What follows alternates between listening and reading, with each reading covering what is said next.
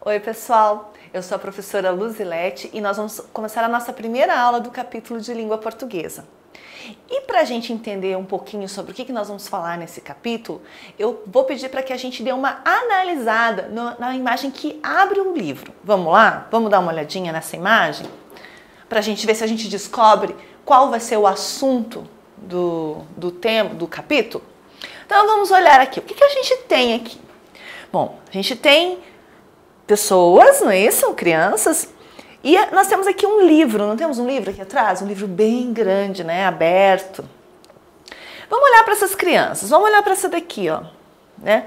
Primeiro, o que, que elas estão usando? O que, que todas elas estão usando? O que está comum nelas? O que, que todas elas estão usando? Um jaleco branco, né? Quem usa jaleco branco? Vamos pensar aí. Pensa se você conhece alguém que usa jaleco branco. Se você já viu em algum lugar pessoas que usam jaleco branco. Eu já vi, por exemplo, as pessoas que trabalham no hospital, né, os médicos, enfermeiros, normalmente eles usam jaleco branco. Alguns professores também usam jaleco branco. E quem mais será que usa jaleco branco? Os pesquisadores, os cientistas, né? Eles também usam jaleco branco. E vamos ver aqui então o que, que cada uma dessas crianças elas estão segurando ou elas estão investigando. Então eu tenho aqui, ó, essa primeira menina aqui, né? Ela tá com, com plástico, né? Um plástico, e dentro do plástico a gente vê algumas sementes, inclusive algumas sementes germinando. Vocês conseguem ver? Observa bem lá, ó. São, são feijõezinhos, né? Grãos de feijão. E um deles já está germinando. Aqui a gente tem uma outra menina que está com uma câmera fotográfica. Percebem? Né? Muito provavelmente para fazer registros, né? Aqui nós temos uma outra que está com uma planta. Estão vendo ali, ó? Aqui a gente tem um outro menino com uma lupa e aqui nós temos um outro menino com um lápis e um caderno. E o que, que tudo isso tem a ver com o livro, ou tem a ver com o jaleco branco, ou tem a ver com ciência? Então vamos pensar. Quem são os cientistas? Quem são os pesquisadores, né? São pessoas que dedicam as suas vidas a fazer investigações, mais ou menos como um detetive, né? Só que o detetive, ele investiga é, crimes, ele, ele, ele, ele investiga situações mais sociais. A questão do pesquisador, do cientista, ele vai investigar coisas que são fundamentais para a vida do ser humano.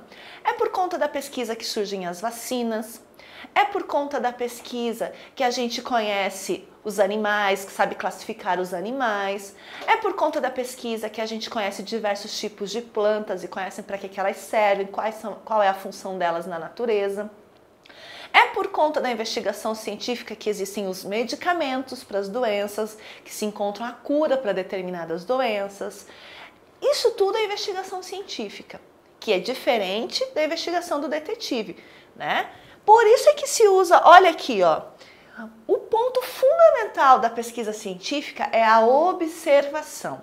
Temos que aprender a ser bons observadores. Todo cientista é um bom observador. E não pensa que é só olhar rapidinho e mudar de página, ou olhar rapidinho e mudar de assunto. Não.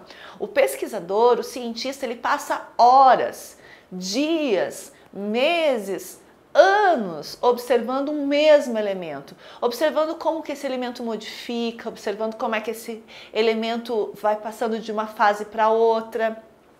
Existem os cientistas que pesquisam o universo, né, que são os astrônomos. Então são cientistas que eles vão observando as coisas que regem o universo, o que está dentro do nosso universo, o que está na nossa flora, na nossa fauna, no nosso dia a dia.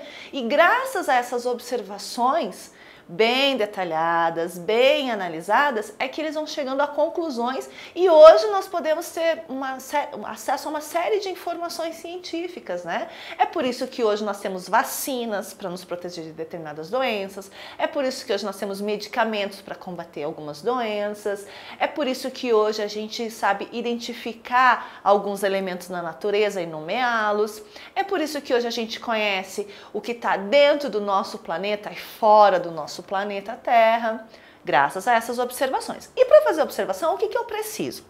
Então eu preciso primeiro ser um bom observador, né? Olhar, analisar, preciso registrar o que eu estou vendo, né? Olha só, essa nossa pesquisadora aqui está usando uma máquina fotográfica. Então, muito provavelmente ela usa isso para quê? Para registrar, para fotografar, para documentar. Aqui também, ó, esta daqui está observando o que? Uma planta, o crescimento dessa planta, como é que acontece, o que, que precisa ser utilizado, que faz com que ela com que ela se desenvolva melhor, ou se eu retirar determinados nutrientes, o que, que acontece com essa, com essa planta. Temos a lupa, né? Para que serve a lupa? Para a gente ver aquilo que ainda está muito pequeno, que o, que o nosso olho sozinho não consegue ver. Então a lupa ela serve para ampliar a minha observação. Assim também como o microscópio, né? O microscópio ele faz com que a gente observe coisas que a olho nu a gente não enxerga de jeito nenhum não é? E claro, um bom caderno, um bom lápis para fazer anotações. Quer dizer, eu observo, eu verifico o que está acontecendo e relato, anoto. E é por isso que mais tarde a gente vai ter os textos científicos, não é assim? Então vejam só, isso daqui é um pouco do que faz o cientista. O cientista ainda faz mais coisas, mas para ser um bom cientista, um bom pesquisador, você tem que ter, no, no mínimo, você tem que fazer uso desses elementos, né? Da observação e do registro, principalmente, tá certo? Eu quero dizer para vocês que, por exemplo, não é só na ciência, né, que a gente vai encontrar esse tipo de pessoa que é observadora. Na arte existiu um movimento chamado impressionista, e aí a gente vai ter o Monet. Ele fazia o quê? Ele pintava a mesma coisa em várias fases do dia.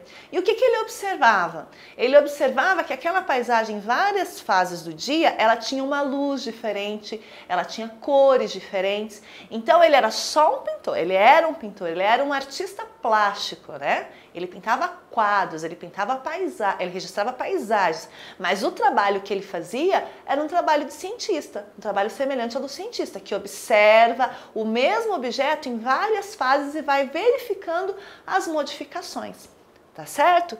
Então, esse daqui é o que abre o nosso capítulo. Então, se é isso, do que, que nós vamos falar nesse capítulo? O que, que vocês acham? Exatamente, nós vamos falar de textos científicos né, de como que eles acontecem, como que eles são produzidos. Então vamos lá, vamos para a próxima página. Então olha lá, a, ciência explica muita coisa. E a ciência, gente, uma coisa importantíssima. A ciência, ela explica mas ela não é uma, uma ciência estanque, parada. Existem coisas que ela explica de uma forma agora e continua investigando. E daqui a pouco ela descobre que já não é mais daquele jeito. Por exemplo, até alguns anos atrás, a gente conhecia Plutão como um planeta. Quem é que decidiu que Plutão era um planeta? Né? Os cientistas, os astrônomos que fizeram essa pesquisa, os astronautas que vão até o espaço, as análises. Então, Plutão era considerado um planeta do sistema solar. Passado alguns anos fazendo pesquisa, eles perceberam que Plutão não tinha características suficientes para ser considerado um planeta. Então, ele passou a ser considerado um nanoplaneta. Estão vendo como a ciência muda? Ela muda e muda por quê? Porque os cientistas seguem fazendo o quê? Investigações, eles não param, né? Então, olha lá. Nesse capítulo, você vai conhecer textos que explicam o mundo e nos fazem aprender sobre a vida, os fenômenos da natureza e muitas outras coisas. Além disso, vai conhecer mais a grafia de palavras da língua portuguesa. O cientista escreve muito, então se escreve muito, nós vamos conhecer muitas palavras novas. Então a gente, olha só, algumas perguntas que os cientistas tentam explicar, né? Qual é a maior, qual é a maior flor do mundo? Quanto de água tem no planeta? Por que existem dias e noites? Como as plantas crescem? Né? Isso são algumas das perguntas que os, que, os, que os cientistas já fizeram ao longo da história e para as quais eles já têm algumas respostas. Mas será que essas respostas são definitivas? Acabou, é isso e ponto? Não, eles seguem investigando, né? É para responder a essas e muitas outras perguntas que os cientistas estudam, pesquisam e apresentam suas descobertas. Vamos saber como eles fazem isso? Vamos saber como que eles fazem esse, esse trabalho? Então, olha lá. Agora, a gente vai pegar a nossa ficha. Vamos lá. Nossa ficha 1, pessoal. Vamos abrir lá? Lá na página 3. Nós vamos fazer o seguinte: a professora vai ler esse texto com com vocês. nós vamos discutir um pouquinho esse texto e as perguntas a seguir vão ficar para casa. Vocês vão responder em casa as perguntas, né, como tarefinha, tá certo? Então vamos lá, olha lá. Morcegos. Então esse texto, ele é um texto científico. Vamos descer mais um pouquinho que eu quero mostrar para vocês antes da gente ler é uma coisa muito importante. Então olha lá. Esse texto, é onde é que eu encontro esse texto? Toda vez que eu trabalho com um texto que não é meu e que eu quero mostrar para alguém, que eu quero publicar, que eu quero registrar, eu preciso dizer de onde ele saiu da onde ele saiu é a fonte. Isso também é um trabalho científico, que está dentro de, uma, de um conceito de metodologia científica. Quando vocês crescerem um pouquinho mais, vocês vão entender o que é isso. Metodologia científica, quer dizer, existe uma ciência que determina até como é que a gente escreve determinados textos, o que, que precisa ter nesses textos, para vocês verem que não tem só pesquisador é, na área biológica ou na área do sistema solar. Existem pesquisadores em várias áreas, inclusive na área da escrita, na área de produção acadêmica, na área de produção científica. Então, olha lá, esse texto dos morcegos que nós vamos ler, ele foi retirado de um site. Ele não estava dentro de um livro, ele estava num site. Então, quando a gente vai falar de site, olha lá, ó, tem o local, o nome né, do, do, do site, da página, que então é do Escola Kids, o assunto, o assunto é sobre morcegos, é o título do texto. Se o texto fosse os morcegos dormem à noite, os, os morcegos dormem durante o dia, então tinha que estar escrito aqui, os morcegos dormem durante o dia, que é o título. Aí ele está escrito assim, disponível, quer dizer, onde é que eu encontro isso daqui? Eu encontro neste endereço eletrônico aqui, ó. Estão vendo aqui embaixo? E olha lá, ó, Acesso em 11 de novembro de 2019. O que, que isso significa? Significa que a última vez que a pessoa que organizou esse material entrou para entrar em contato com esse texto, entrou nesse site, foi no dia 11 de novembro. Por que, que isso daqui é importante? Por que, que eu tenho que colocar qual é a data que eu entrei? Porque os sites eles modificam também e às vezes tem publicações que eles retiram. Então eu tenho que dizer para as pessoas, olha, até 11 de novembro esse texto estava lá. Talvez hoje, se eu entrar hoje, não, não esteja mais, mas até o dia 11 de novembro ele, esse texto estava lá na página do Escola Kids. Tá certo? Então, vamos ler o texto, vamos entender o que, que esse texto diz. Morcegos. Os morcegos são mamíferos voadores que possuem os membros anteriores transformados em asas. Então vejam só, como é que eu sei que o morcego é um mamífero? Quem foi que disse isso? Muito provavelmente um pesquisador, alguém que estudou sobre os animais e que foi criando classificações para esses animais. A partir do quê? Como é que eu classifico alguma coisa? A partir de características que são semelhantes. Então, quanto mais semelhança determinados animais, ou determinadas plantas, ou determinados objetos, ou de... enfim, não interessa o que eu estou avaliando. Eu vou aglomerar, eu vou agrupar por características semelhantes. Então, o morcego, a baleia, o cachorro, a vaca, o canguru, né? São animais que, embora olhando num primeiro momento pareçam muito diferentes, eles têm características semelhantes.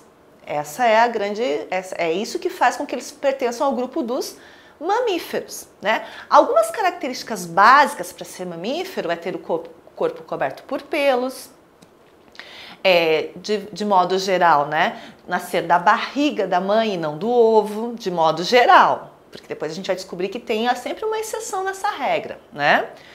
Mamar quando filhote, por isso que ó, vem da palavra mamífero, né? O animal que mama quando é pequeno, quando é filhote. Então são algumas das características que, classifique, que foram usadas para determinar que, que, alguns animais pertencessem ao grupo dos mamíferos. E o morcego é um deles. Aí vocês vão dizer, nossa, mas tem uma diferença bem grande entre o morcego e a baleia, né? Realmente, no primeiro olhar, existem muitas diferenças, mas existem semelhanças que fazem com que eles pertençam ao mesmo grupo, ao grupo dos mamíferos. Então, eles têm membros anteriores transformados em asas. Né? A gente sabe que o morcego voa. Então, vamos lá podem ser encontrados em quase todas as regiões do planeta Terra, com exceção das regiões mais frias, como os polos. Então, eles estão em quase todas as regiões do planeta, quase, significa que não são em todas. E que nas regiões frias, dificilmente a gente vai encontrar morcego. No Brasil, há 138 espécies de morcegos. Estão vendo só? É muito interessante porque a gente acha que morcego é tudo igual, né? Não. Então veja como a ciência ela é muito específica.